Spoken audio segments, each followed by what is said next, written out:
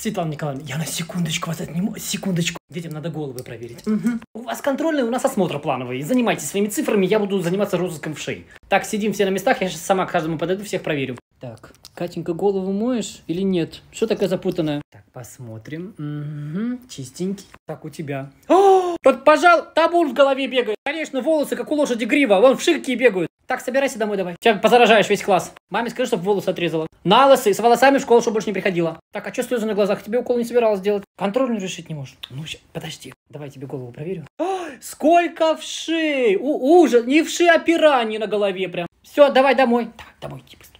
Потом спасибо принесешь. Давай. Что это у тебя на руке? Болячка? Холера какая-то?